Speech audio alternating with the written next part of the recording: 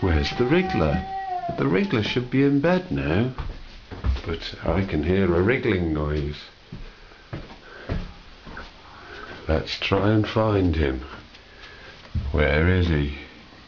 He should be in bed tucked to sleep. And what's he doing? He's sitting in his bed pretending. And now what's he doing? Oh dear. That's your pillow, Jack. And it's bedtime.